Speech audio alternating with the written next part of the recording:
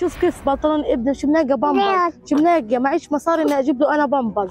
مش متوفر. البامبرز حقه 90 شيكل. الكيس الطحين صار أرخص من البامبرز. فيش بوفرش معايا ولا إشي. وجوزي قاعد كمان. ومعيش مصاري ان أنا أجيب ولا حليب ولا بامبرز. شو كيف حال ابني؟ كل يوم التاني عيان.